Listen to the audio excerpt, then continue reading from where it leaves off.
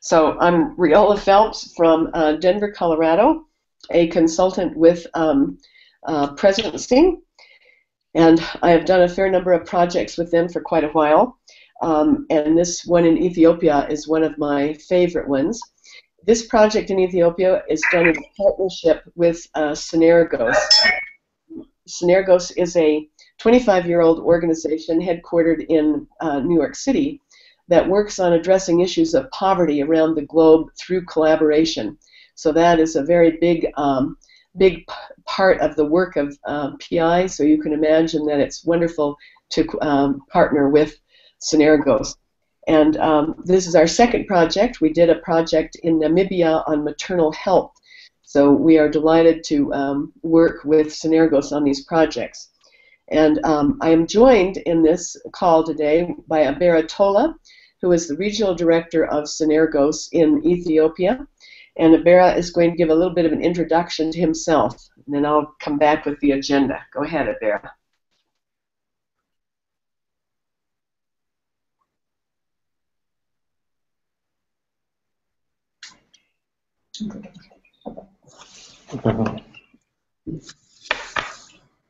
Uh, thank you, Reola. Uh, uh, yes, I'm uh. I'm working for Synergos. And um, uh, my office is uh, in Addis. And we have uh, quite, uh, no, relatively big office in, you know, compared to the Synergos programs in other parts of the country. And our main area of engagement here is, you know, with, with, with agriculture. And um, as you know, agriculture is the main state of the Ethiopian economy. That's why we are determined to support the Ethiopian agriculture so that we can, you know, bring change in the life and the livelihoods of the Ethiopian poor farmers. So, uh, if I can give you a background of, uh, so I can maybe uh, give you. Shall I? I'll do the agenda first, okay? Does that sound good? Yeah. Okay. Yeah, yeah. Okay, Reola, please okay. go ahead. Yeah. All right.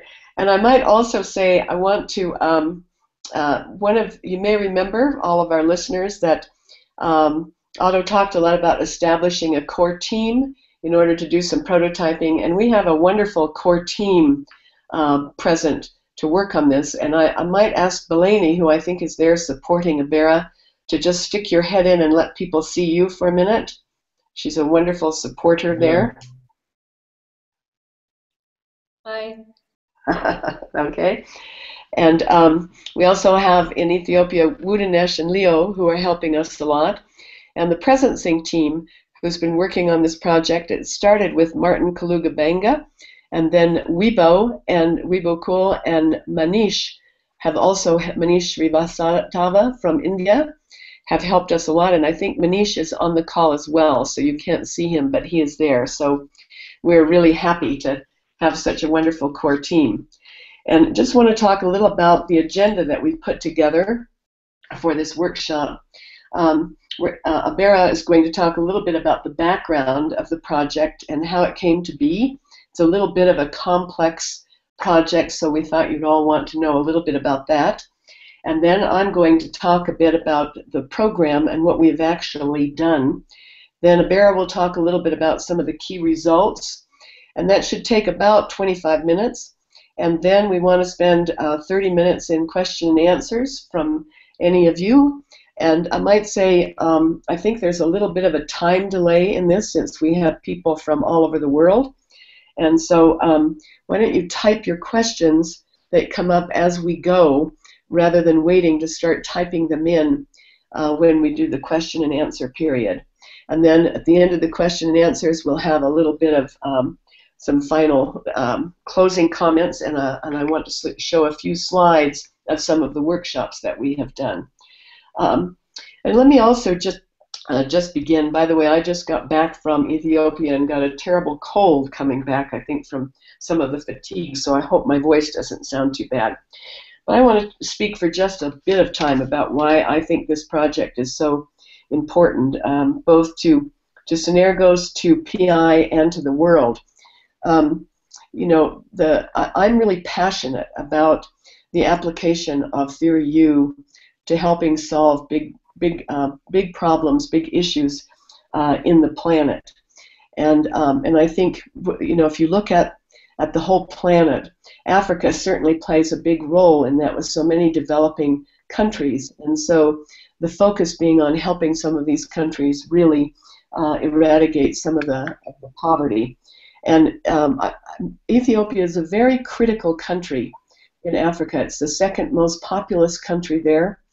Um, has 81 million people and 31 million uh, farms, smallholder farms. And many of these farms have um, have poor soil and some and there's a fair amount of poverty. So so if you were to set about doing a project to really look at poverty uh, somewhere in the planet, there would be you'd be hard pressed to find a place that is as important as um, as Ethiopia. And um, and one final thing I would like to say to put this in context. I lived in Africa for a couple of years and worked in a lot of programs, a lot of countries there. And I really, as I stayed there, I began to feel how critical it would be to work with the government because the governments in African countries have such high leverage points for, um, you know, for being able to solve some of these problems. And yet it was very hard to get uh, to get any kind of to, to be able to work with governments. So you can imagine when this project in Ethiopia came, uh, to be working with the Ministry of Agriculture, the biggest ministry in all of Ethiopia, in the second biggest country in Africa. And we are working directly with the Minister of Agriculture. So I think it's just a project of enormous uh, scope. We've been working there for three years. So I think it's very important, as I said, to Synergos, to PI, and to the world. Okay, Abera, how about you now giving some background on the program? Uh, okay. Um, uh, thank you, Reola, and uh, good evening for all our viewers. And uh, you know, the in 2009, you know, the uh, Melinda Gates was uh, visiting us, and it was so happened that um, I was working for another organization called Oxfam, and we hosted her her, her visit in Ethiopia, and then uh, as a result of that visit, she was able to visit to talk to the the late Prime Minister Meles Zenawi, and uh, during that visit, he formally uh, applied to her, you know, meaning that you know the, the the the problems, the difficulties he was facing related to uh, enhancing production productivity of the Ethiopian agriculture. You know, the uh, the Ethiopian agriculture is really the backbone of the economy, which, like, for example, uh, you know, it uh, holds more than 80% of uh, our labor force, and that brings more than 40% of our foreign earning. And the Ethiopian agriculture was, um, you know, the prime minister of Ethiopia formally asked, you know, the, the foundation, particularly Melinda Gates, if the foundation can really help in um, enhancing Ethiopian agricultural production and productivity. And then uh, the foundation accepted that request and hired a consulting firm, the McKinsey, the McKinsey Consult. And then that study came out with like five recommendations or what we call bottlenecks for the Ethiopian agriculture. And like one, some of them are like soil, seed, um, extension co-ops, and so on.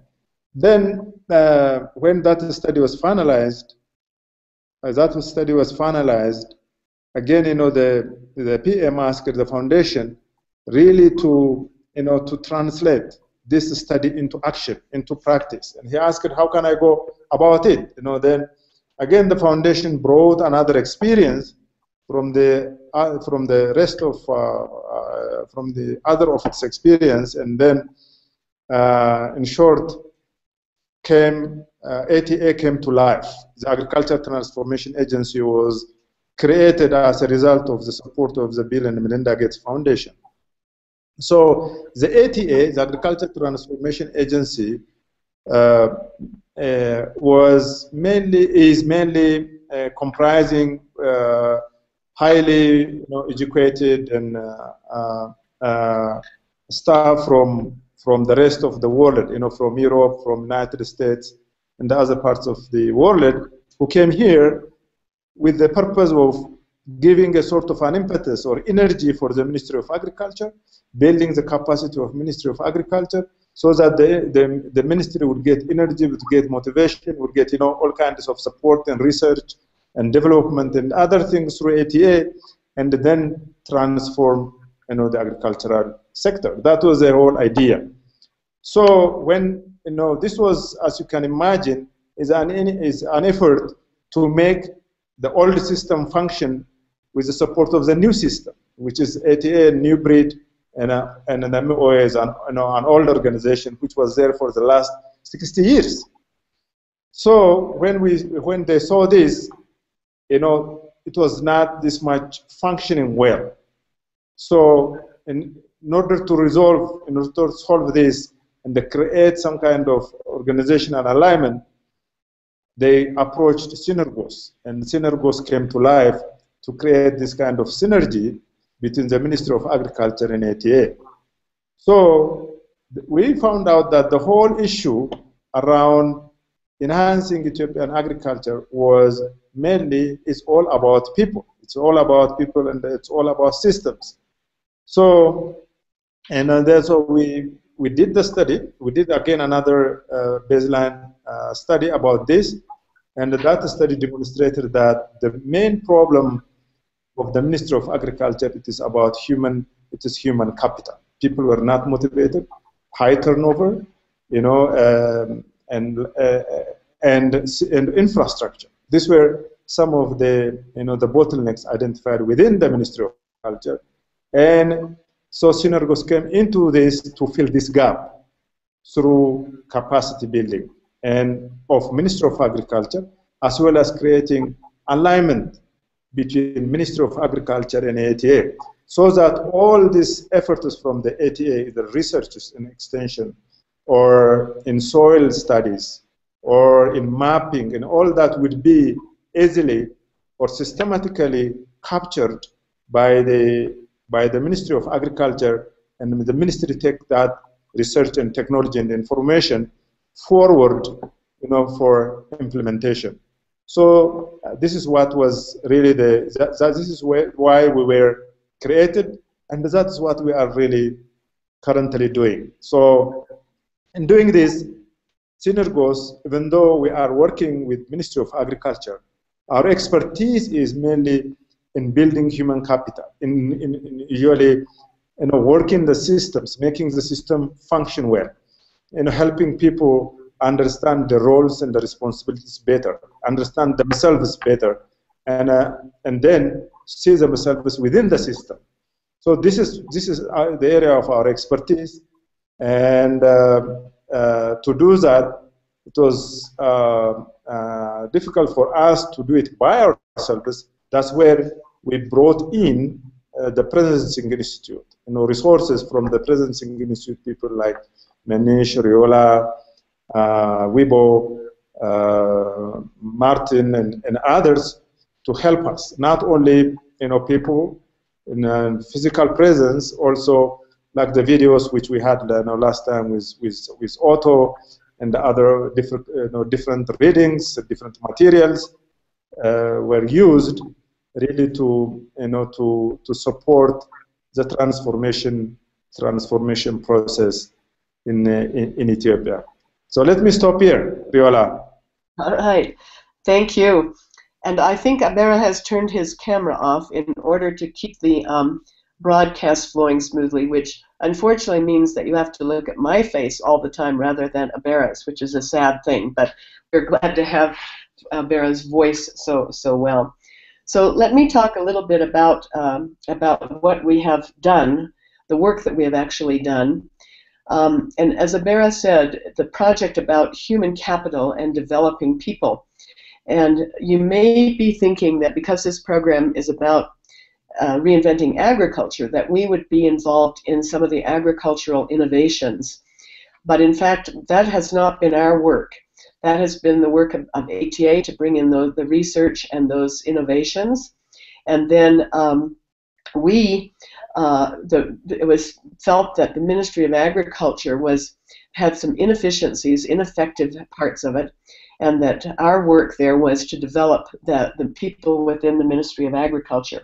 So we've been working there for close to three years uh, with that the core team that I mentioned. It's been a lot of fun. And uh, we began by doing some workshops with a lot of the directors, a lot of the ministers, and all the time teaching some of the, the, the core principles of Theory U. Starting a couple of years ago, we really started to hone in on addressing some of these inefficiencies in the system. And um, I think this is one of the finest examples, our project here, of how we have used the whole of Theory U, all five of the different stages uh, in it. And um, so I'm, go I'm going to describe a little what we have done. And primarily lately, we've been focusing on two areas. One, well, three areas. First was the lack of alignment between MOA and ATA a fair amount of discord between those two organizations at the beginning. So we ran workshops to try to harmonize that. And then we began working more directly with the Ministry of Agriculture, working on alignment between the federal government and the and the regional governments.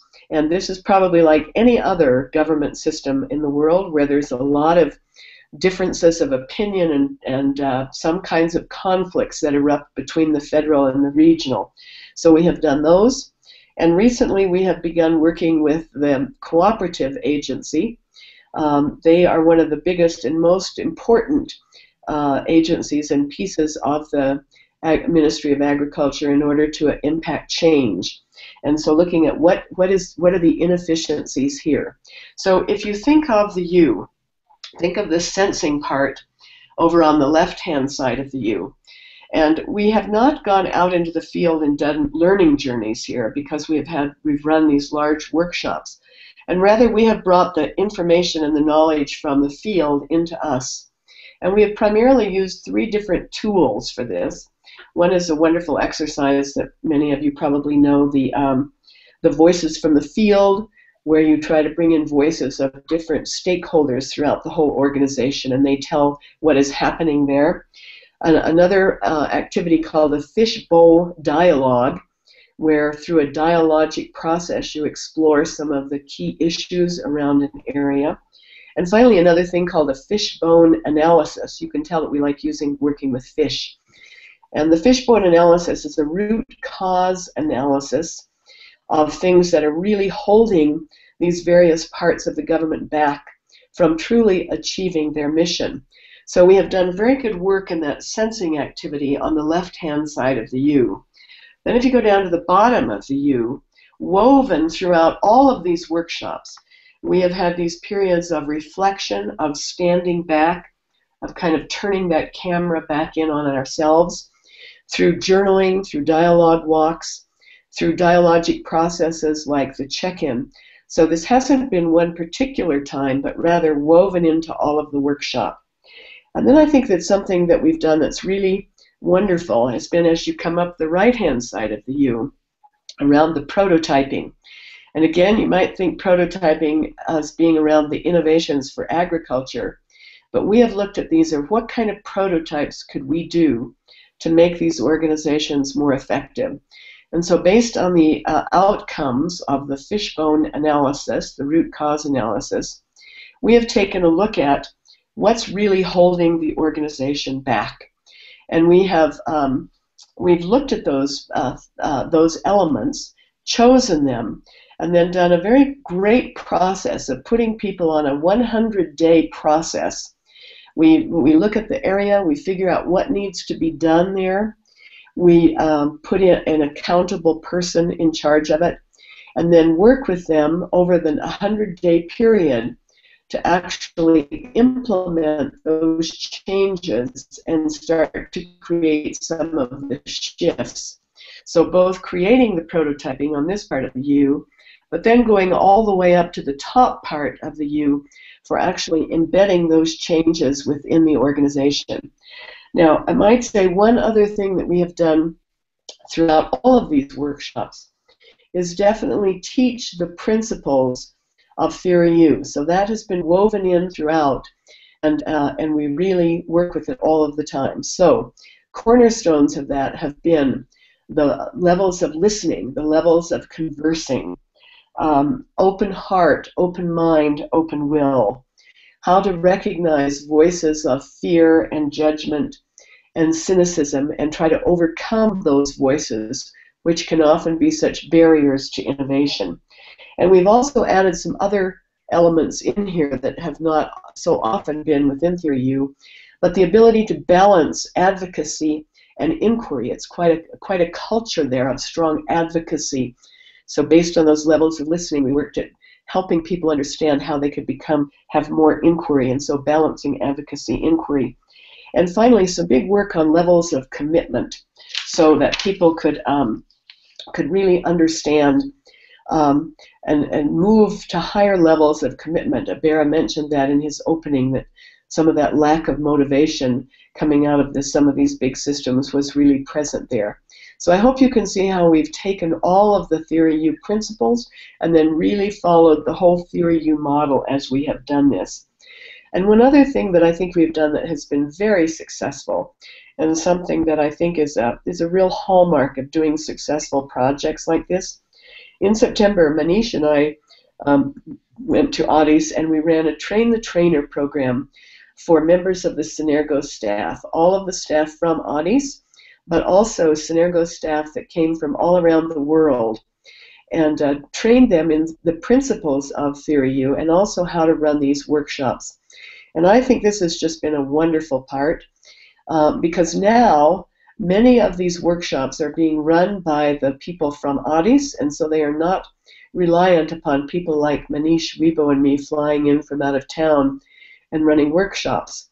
And another key benefit has been that um, uh, that we have um, we can now run a lot of the workshops in Amharic. Obviously, if we are doing it, we have to run the workshops in English, and some of the um, um, the you know people, although everyone generally understands um, uh, English, they can't communicate from their heart as well when it's in English, and they need to speak in, in Amharic. And so I think this has been a great benefit, and one that I think in projects like this you always want to do is to make it so that the people who are local there can actually run run the programs. So in a nutshell, that's what we've spent the last three years doing. And Abera, how about over to you for a little bit of some of the key results that you have seen, and then we will look at question and answers. Yes, as like uh, uh, just to add a few words from what, on what you said, Reola. Uh, yes, you know, maybe we, yes, we, fully use TOU for really uh, addressing, uh, you know, the challenges we are having uh, in, in an area of communication or alignment between the government institutions. However, we, we were also adapting this tool, like for example, in, uh, in the designing process, we try to adapt to the, to the reality of the, of the issue or, or the problem we are having here. So as a result, I mean, the result is quickly, now in, for the last, you know, it's almost three years now, we have very good alignment between the Ministry of Agriculture and ATA, uh, when I say good alignment, I'm, I'm really talking about specific results. For example, the research team, the Ethiopian Agriculture Research Team and the ATA research team are working together. And the, the, the result is that it's not just only working together for the purpose of working together, they have common deliverables. And all those deliverables, you know, by, by both institutions were delivered. And the, the same with extension. You know, the extension team in, in ATA and the extension team in Ministry of Agriculture are very closely working together. And they also have about like, for example, 20 joint deliverables, and all those deliverables were delivered by, by, by those institutions. The same with the, like the cooperative agency.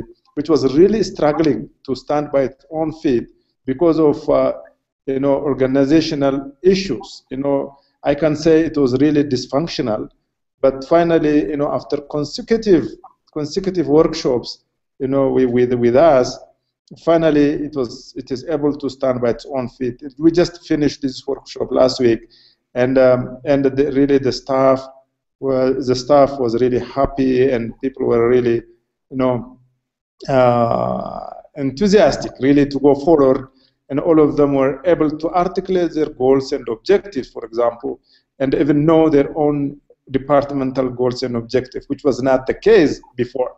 So again, with the federal and the regional, you know, these the two institutions have uh, taken you know responsibilities really to to narrow the gap around roles and the responsibilities. There are some issues around you know uh, constitution areas, around policy areas.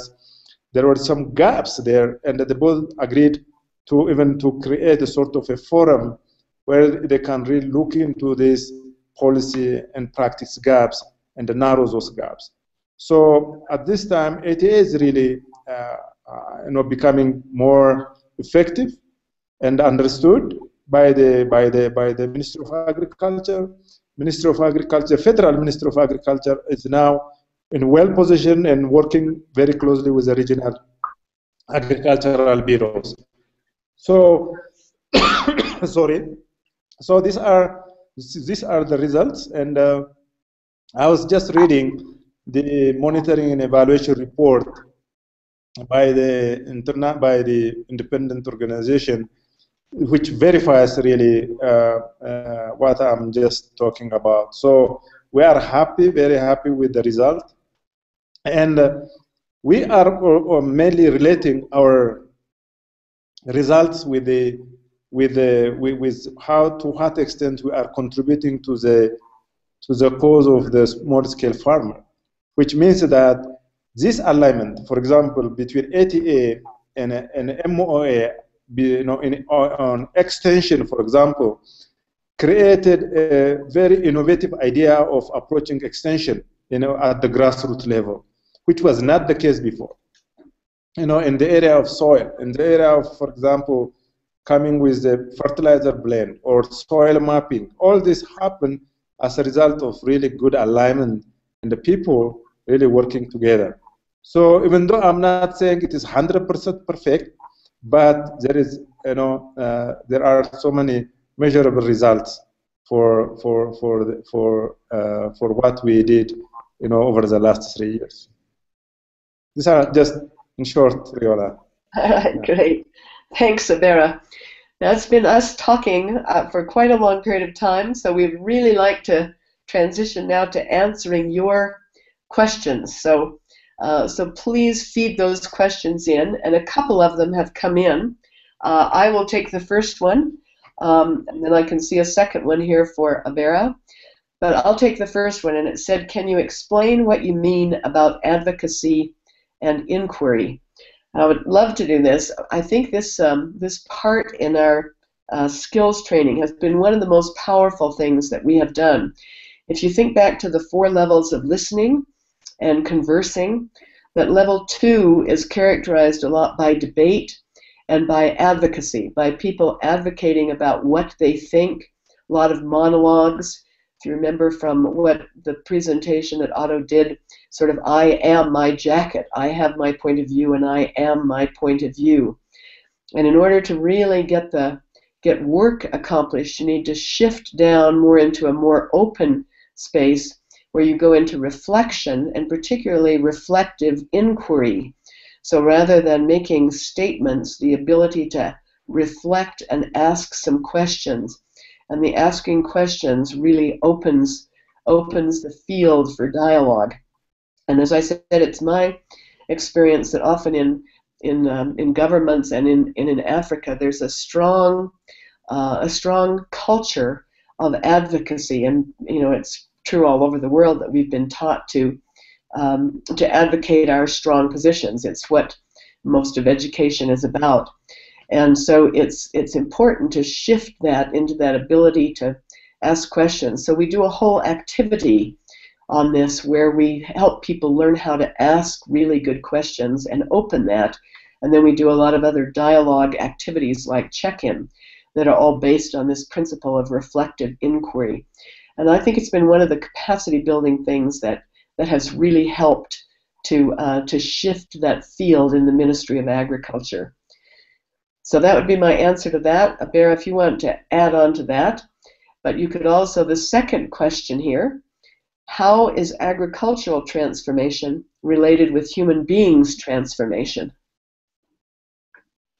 Yeah, this is, uh, yes, from, um, uh, I know, from these three years of experience, I mean, I can, I can, I can say that, you know, agriculture, we, we can transform a system uh, particularly when we are able to transform themselves. I mean, transform ourselves, I mean, really knowing what we do and why we are doing, you know, the, the work we do. You know, uh, for example, you know, in our, during our workshops, really we asked many of them why they are here, why they, what, what, what, why, what brought them to the agriculture sector, and you know, how they, you know, what they feel about agriculture. Do they really believe in that you know transforming agriculture will transform the nation. So this helped me to understand that uh, uh, really people have to believe in themselves believe that or transform themselves or look into themselves whether they really love the job they do or not. I mean that is that, that is an important aspect of this you know this workshop you know, uh, uh, some are, you know, some are related to culture, some are, some is, some are related to our uh, educational system. For example, when we encountered three of our high officials, uh, how they ended up being, you know, ministers and the state ministers for agriculture, none of them were really uh, expected or anticipated to end in agriculture. There were many of them. They were thinking of being like scientists or something like a mathematician or engineers, but you know, agriculture was never been in their heart or in their in their mind. So you can imagine how. I'm not saying that these people will not do good in agriculture, but we believe that we believe that if that thing is really in their heart, they can perform better. So they can transform the, the Ethiopian agriculture. So it is more related. You know, we cannot uh, isolate the system the, from people. So this is what I can I can say. Maybe if you can help me, Reola, on this difficult question. Um, um, I, I think that that um, in Ethiopia, because so much of the country is, is focused on agriculture, if you transform agriculture and make it more productive and bring more income to people, you are radically transforming the lives of millions and millions of people. And so that's why I feel such passion about that. All right, here's another really good question. Abera, I'll put this over to you. Could you highlight key challenges in, uh, in alignment between the stakeholders. And this would be, I think, as I mentioned, MOA and ATA, and then also the region and the and the federal government. Probably focus on maybe the region and the federal government. And how did the U process help in building some kind of alignment between those two? That's a great question. Over to you, Abera. Uh, the, the, the challenges were uh, so many challenges to the alignment process. One is really the big thing was, as as I just said, it is all about people. I mean, about really loving loving the work we do. Uh, the second part is it's all about livelihoods. For example, what we faced in alignment between uh, and, and MOA staff was you know, the ATA staff was paid handsomely. They were, they were just like experts. They were getting more money, while you know the MOA staff was under the you know civil service you know structure. That was that was uh, that was one challenge we had.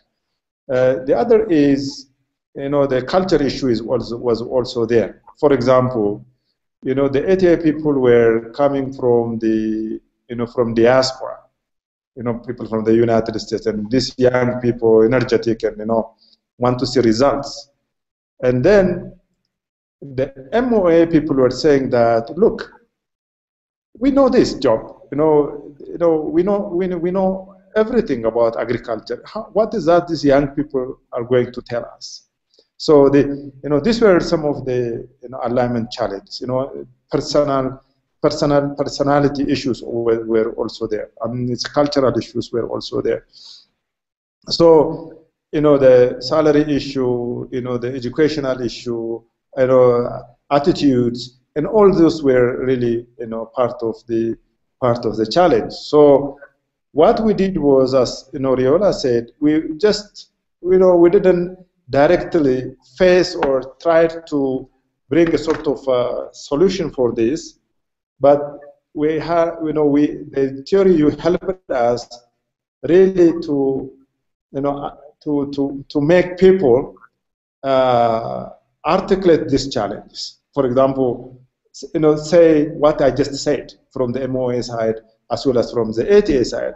The ATA guys were, you know, staff was were saying that you know, these MOA people are, they don't understand, you know, time frame, they don't understand, you know, they don't care about time, you know, they don't have analytical, you know, skill, you know, uh, they don't respond and they hate us. These were some of the, you know, side from the ATA side. So all this came out as a result of, you know, uh, our facilitation as well as the you know the the tool the the theory tool that we are using, which is which which uh, what Reola just mentioned, you know, like in the sensing part, you know, where we take them through the you know the uh, listening, you know, through the conversation part, when we help them, for example, even you know, uh, helping them in the area of uh, uh, also uh, like uh, prototyping, I mean, the current reality and the future reality, and this kind of thing really helped us to to to find to to look into this challenge. Then help them really go through that. Again, using you know this using you know as a, uh, just the bottom of the U again, you know, to reflect, you know, helping them to have a dialogue, work together, and then you know helping them to work together on a table and all that. I mean, it is just the process which helped us really to get into results, which I just talked about. I might add one one thing on alignment. Um, I'm from the United States, and this this will relate to the lack of alignment between the federal and the regional. And I think of how much animosity there is between the federal government and the states in the United States. And it just causes so much polarization and lack of, of collaboration and coordination. And I think we saw that that was true in Ethiopia. And so just the mere act of bringing all of these people together and getting them in a room for four days and then creating all of these processes, how did Theory U help? It gives all of these processes for people sitting down, listening to one another, hearing what's going on, understanding. You know, a lot of alignment problems are caused by the lack of really understanding and knowing what, what it's all about. And so when people see each other face to face and they understand that, and, and then they can start. Um, a lot of the problems are caused by communication problems. And one of the things you have to realize, you know, because most of us sit here in, in first world countries and we have great internet, although even mine seemed to fail this morning, but um, but it's not the case there. Um, people don't have laptop computers on their desks. They don't have fast internet. Um, communication is really really difficult, and um, and these are far distances away. Ethiopia is quite a large country, so that face-to-face thing with those incredible tools that are offered through Theory I think, um, is really really helpful. So I think that was that was great. Um, all right, here's another question. Um, how many people have been involved in this three-year project?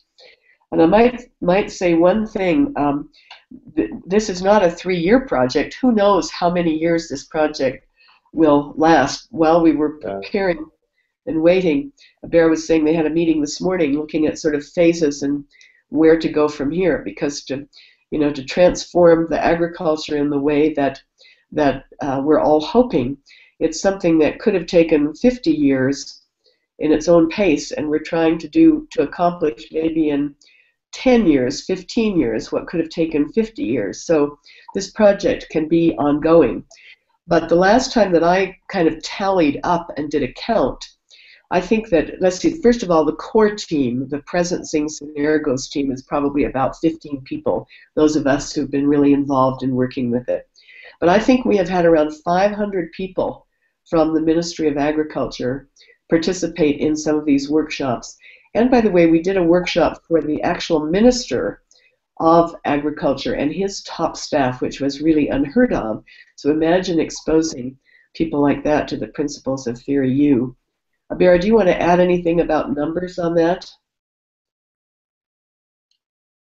Yes, I can add to that. You know, altogether we had more than like uh, more than 30 workshops, and the average uh, people we had was about uh, about 40 people for, for each you know workshop. So we we, we, we, we believe that we reached up to like um, about uh, like 800 something people. But I can I can give you the right, the right number. But this is the people we really reached out. I mean, this is huge. I mean, the ministry, the federal ministry by itself is about 2,500 employees, and we only we only took, you know, the directors of each, uh, you know, pillar departments to this alignment workshop and uh, capacity building workshop.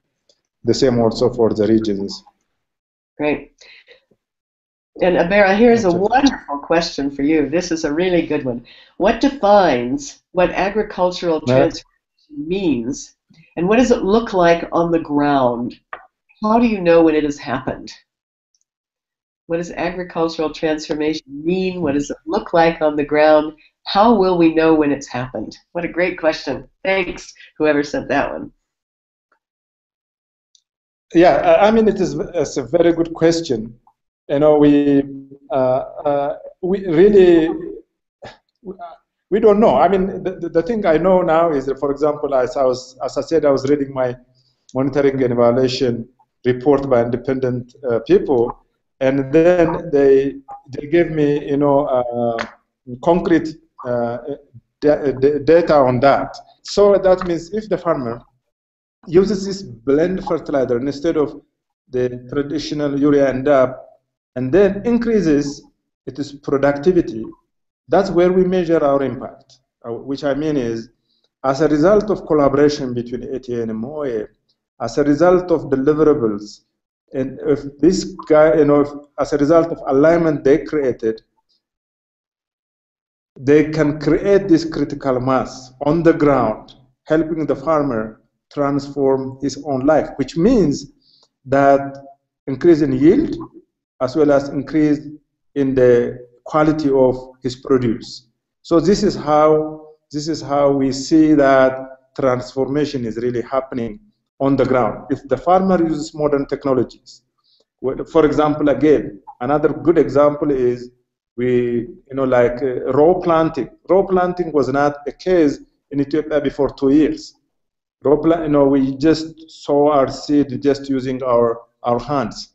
So, but now we reduced the amount of seed and again, we know how you know we, we know what kind of where in a, uh, uh, to plant and how to plant our, our, our, our seed on, on the ground. So these are just I'm mentioning some changes in area of information technology which has a direct impact on the life and livelihood of our small scale farmer. That's how we measure as, as Synergos. We say that, okay, our effort has shown result. All right, another excellent question. What factors need to be considered in adapting the process to different contexts? I think this is a great question as well. Uh, and I'll take a crack at answering that, and then, Abera, you can add to it. Um, in my mind, Theory U is a process for transformation. It's a process for personal transformation of individuals. But what really is exciting for me is when you use Theory U as a process to create big systems uh, change, big organizational kinds of changes. So it can be used all over the world in, in many, many sorts of contexts. Um, and then, but how do you, when you go to a different context like Ethiopia, how do you make it work? And I think that that's one of the one of the wonderful facets of a project like this.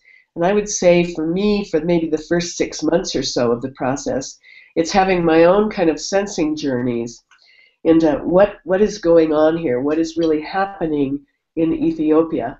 How can I see and understand the culture well enough so that I know how to speak, how to talk, how to adapt the tools. And so I think all of everything for Theory U can be used many places, many languages all over. And it's up to us as the practitioners to, get, to do that fine tuning of our ears so that we understand the culture that we are in and what we should emphasize or de emphasize. A perfect example might be advocacy and inquiry. We haven't used that so much in other places, but became obvious that that was something that we really should use to adapt to that context. So I'd say high cultural sensitivity on the part of the practitioners. Bear, would you add anything to that? Factors to be considered going into different contexts. Uh, so if I got the question right, I mean, for example, you know, we, we used it for supporting, you know, the um, use group for, you know, for uh, people working for um, in uh, IT for, for, for in, in, Ethiopia for the youth group for IT. And what is what is really uh, interesting was just you know understand you know the issue and the design.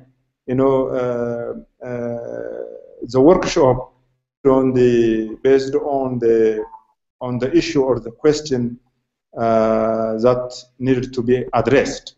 So Theory U can be for, for agriculture, for youth IT, for, we used it for health, and so it, it is uh, it is, is adaptable. I mean that's what I maybe next time we can use it for you know for other ministries like Ministry of Education and others. So.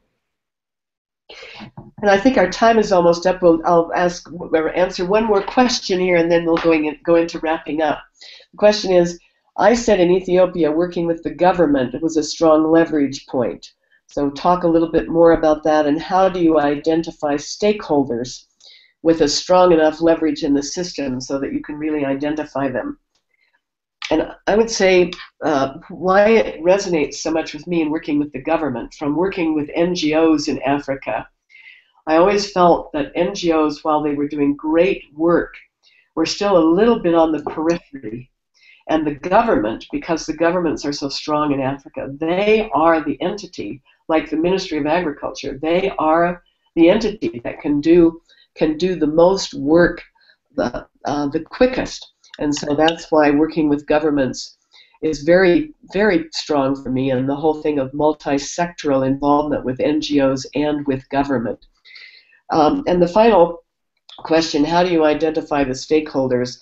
I think and there are some tools and processes in Theory U at the way up on the left-hand side of the U, the co-initiating for how you figure out yeah. who are the key powerful people who need to be engaged in this and who really have a stake in the action. And I would say, boy, in Ethiopia, we're at the heart of that. We could not get to any people who have more, more power and ability to shift the system than where we are. So let me begin. Let's begin wrapping up here. And I thought uh, to close, it would be wonderful just to show a few photos of some of our workshops, just so that you can um, can see these.